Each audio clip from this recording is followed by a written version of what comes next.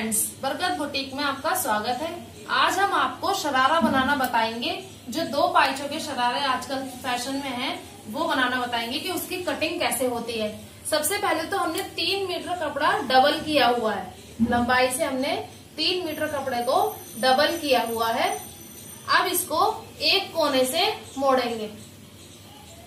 इस तरह मोड़ लेंगे हम। देखिए, ये मुड़ चुका है कपड़ा। अभी हमने बंद भाग रख लिया है दूसरी साइड और खुले भाग की साइड हम बैठे हैं। इसमें हम अब ऊपर की तरफ़ जहाँ हमारी नोक बन रही है, वहाँ हम लेंगे हिप्स का चौथाई भाग। अगर हमारे हिप्स हैं छत्तीस तो नौ चौक छत्तीस, ये चौथाई भाग हो गए, लेकिन इसमें हमें प्लस भी करना है। एक से डेढ़ इंच हम प्लस कर सकते हैं। तो साढ़े दस लेंगे हम। ये हमारा निशान यहाँ लगेगा। साढ़े दस पे ये हमने निशान लगा लिया ये ध्यान रखें निशान को ऐसा या ऐसा बिल्कुल ना लगाएँ। इस तरह सीध में निशान लगाएँ, ठीक है? इसके बाद लेंगे लंबाई। अब हमें जितना भी हमें ये शरारा चाहिए, उतनी लंबाई लेंगे। अगर हमें शरारे की लंबाई कंप्लीट चाहिए सैतीस इंच तो दो इंच हम ऊपर बेल्ट के लिए निकाल देंगे, जो हमारी लास्टिक अलग से लगेगी। उसके लिए निकालने के बाद जहाँ हमारा सैतीस आ रहा है, उससे आधा इंच फालतू पे निशान लगाएँगे।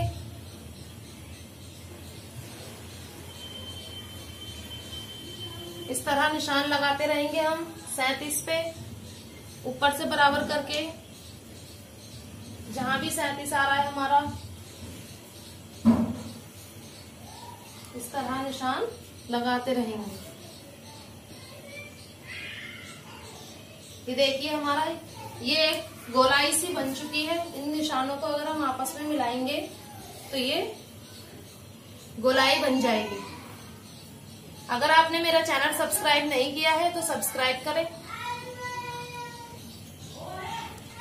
ये देखिए, जिन लोगों को ज़्यादा घेर का गरारा पहनना है, उनके लिए तो ये टोटल घेर बहुत अच्छा है। लेकिन जिन लोगों को कम घेर का पहनना है, उनके लिए हम क्या करते हैं?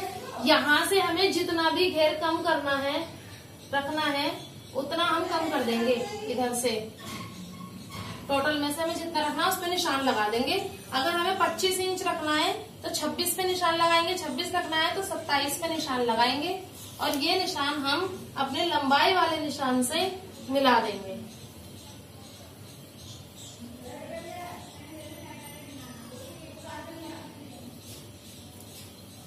ये मिलाने के बाद खुले भाग की तरफ़ से हम आसन काटेंगे। एक इंच अंदर की तरफ़ निशान लगाएँगे आसन के लिए। लंबाई लेंगे, अगर हमें तैयार आसन तेरह इंच का रखना है तो दो इंच ऊपर निकाल के इस तरह, ये दो इंच ऊपर निकाल दिया और तेरह जहाँ भी आ रहा है, वहाँ निशान लगा के एक इंच इधर लिया है तो एक ही इंच इधर लेंगे हम और इसको इससे मिला देंगे। और यहाँ आधा इंच की गोलाई कर देंगे। ये देखिए, ये हमारे शरारे का ड्राफ्ट लग चुका है। इसकी कटिंग करके हम अपना शरारा बना लेंगे। चलिए, अब हम कटिंग कटिंग करने से पहले एक बात और बता दूँ आपको कि ये जो हमारा हिस्सा है, इतना ये देखिए, यहीं तक है, ऊपर वाला हिस्सा, नीचे वाला, नीचे तक है। तो यहाँ जो हमारी इधर से या इधर से कटिंग निकलेगी, उसका हम जोड़ डाल देंगे यहाँ पर। ठीक है, वो डालना भी मैं आपको बताऊँगी, जोड़ कैसे डालता है। सबसे पहले तो हम इसकी कटिंग कर लेंगे अब।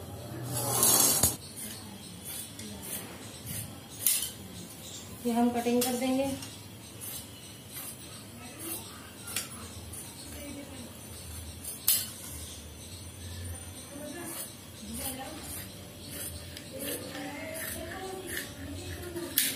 देखिए, हमारी कटिंग हो गई कंप्लीट अब यहाँ जोड़ डालना बताऊ मैं आपको।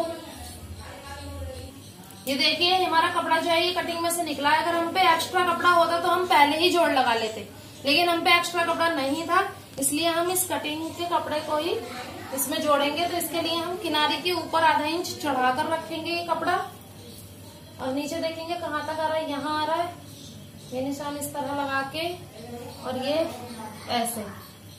ये हमारी कटिंग हो जाएगी जोड़ की। ये देखिए, ये जोड़ भी हमने काट लिया है, ये ऐसे ही जुड़ जाएगा। इसको इसमें लगा के मैं अभी आपको जोड़ के बताऊँगी। सबसे पहले हम हम खोल के देखते हैं इसको। ये देखिए, हमारी कटिंग हो चुकी है। अब हम इसका आसन जोड़ेंगे। आसन कैसे जोड़ेंगे? ये सीधा इस तरह रखेंगे और सीधे पे सीधा ये इस तरह रखेंगे। अब आसन पे सिलाई लगाएँगे हम। ये आसन पे हम सिलाई लगाएँगे।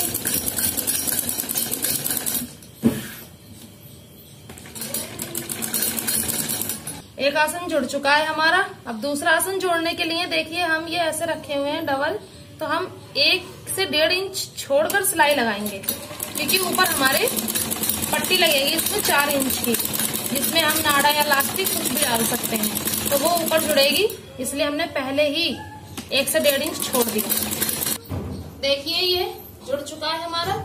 और ये हमने इसलिए खुला छोड़ दिया कि यहाँ हम बेल्ट लगाएँगे इधर, चार इंच कटिंग करके।